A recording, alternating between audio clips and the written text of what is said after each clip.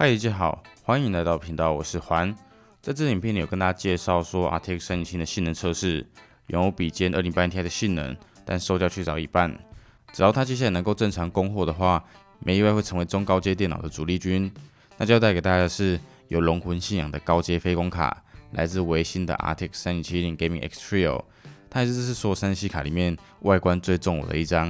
那我们刚刚继续说，这里开始，维新的 Gaming X Trio 显卡。我之前三零八零就有开箱过一次了，在外观设计上是完全相同的，一样是一张长度达到彩丝级别的显卡。在正面设计上，有类似于龙爪爪痕般的 RGB 灯，很适合用于直立显卡做展示。那输出的部分跟三零八零相同，一样有着三个 DP 点四 A 以及一个 HDMI 二点一，我要上八 K 屏幕也是没有问题的。在背面部分，一样有用石墨烯复合材质背板，比较不同的是它尾端这有做开孔。可以让风扇的气流直接通过，增加散热效果。因为这张三零七零的 PCB 比三零八零短，所以多了一节空间出来。那因为功耗降低一百瓦，所以就不需要像是三零八零用到三个八 pin 了。以三零七零两百二十瓦的功耗来说，扣掉主机板提供的七十五瓦，等于还需要约一百四十五瓦的 PCIe 供电。所以你用单条 PCIe 线转接基本上是没问题的。不过个人还是会建议拉两条啦，因为毕竟每颗电工提供线材会各有不同。在还没确保线材规格足够前提下，接两条会是比较保险的。而在显卡侧边部分，一样用金属支架做补强。虽然它是七零级别显卡，但重量上依然是不容小觑哦，达到一点六公斤。所以原厂要付给你质感不错的金属支撑架。然后我会建议机壳板材可以选厚一点，来确保显卡稳固性。所以在整体的外观上，如果没有看背板的话，跟三零八零以及三零九零 Gaming X Trio 摆在一起，基本上是很难分辨它是哪个型号显卡。不过在内部结构部分就有所不同了。在热管部分，三零七零使用六根热管直处，三零八零则是用上七根热管。不过这样的配置都算是非常足够了。从它跑 T S 一的压力测试中可以看得出来，最高温度仅有六十六度，风噪声在四十七分贝左右。放进机壳后基本上是听不到声音的。如果将风扇调到满百后，风噪声会拉高到六十四分贝，温度会进一步降到五十度。这是一个你只要把风扇设为自动。它就会直接停转的温度表现，所以可以说这样的散热模组放到三零七零上是有些效能溢出了。那在我们看到 PCB 的部分，中间可以看到小雷号的 GA 一零四核心，以及周围的八颗 GD 六 VRAM。因为三零七零的耗电量降低了一百瓦，所以在供电规模上对比三零八零也有所精简。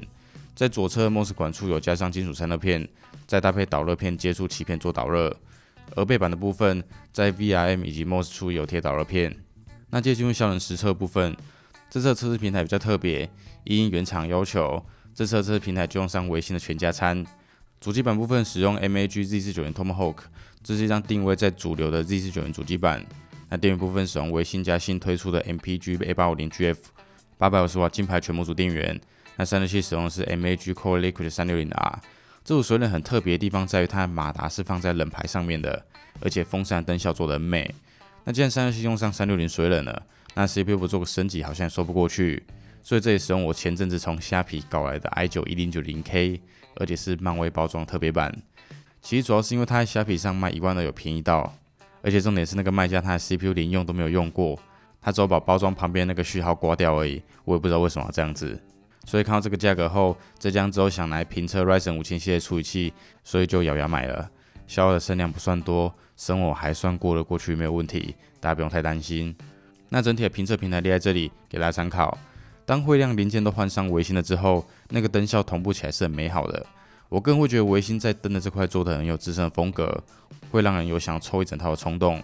然后这次的驱动部分，因为在制作这支影片的时候，三零七也正式解禁了，所以这次会用上官网上面最新的四五七点零九版本，热腾腾的正式驱动。大家可以比较一下对比测试版有没有不同。那首先来看 3D Mark 的跑分，这次测出来的数据相比上次来说分数高了一些些。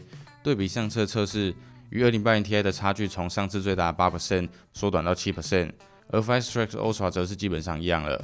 有可能是让 Game X Trio 的频率比较高，运行时会接近两千 MHz，并且功耗强一样上调，可以到两百三十瓦左右，在驱动上也可能多少影响。而测试光追的 Post Royal 里也有二点五 percent 进步，与二零八零 Ti 相差十一 percent，而在 DLSS 测试上则差不多，没什么改变。而在实际游戏测试中，二 K 解析度下，游戏表现基本上跟上次测相差不大，也是跟二一八零 Ti 打的有输有赢。只是奥德赛两张卡持平，占第五级 COD，三零七要好上一咪咪。其他游戏部分则是退步了两到三帧，而在 4K 解析度下做测试，两张卡差距仅有二到三帧。以游戏体验来说，基本上没什么差别。那上次有观众留言问我说，我对于三零七那八 G 的 V 有什么看法？其实老实说，我一开始看到它的机体规格，我就会将分类在二 K 解析度游玩的显卡。毕竟以目前很多大型游戏来说，开 4K 解析度的 VRAM 都很容易直接突破八 G 了。那也是我经过实测后，发现对比拥有十一 G VRAM 的二零八零 Ti。三星并没有出现明显瓶颈，像是决胜时刻现代真真，在 4K 解析度下，2080 Ti 会被这样超过 8G 的 VRAM，而在古墓奇兵暗影里面，则是会吃到接近 10G。但换成三星来跑，COD 里面它会控制在 7G 上下占用，并且不会有明显的帧率损失。在国民奇兵暗影也一样，虽然 VRAM 接近吃满，但是也没有出现明显的掉帧，所以这意味着游戏内还是会自动去调控 VRAM 分配，只要显卡 VRAM 总量不要太低的话。要满足 4K 解析度要调用还是 OK 的，不过 8G 说到底还是会成为一个隐忧啦。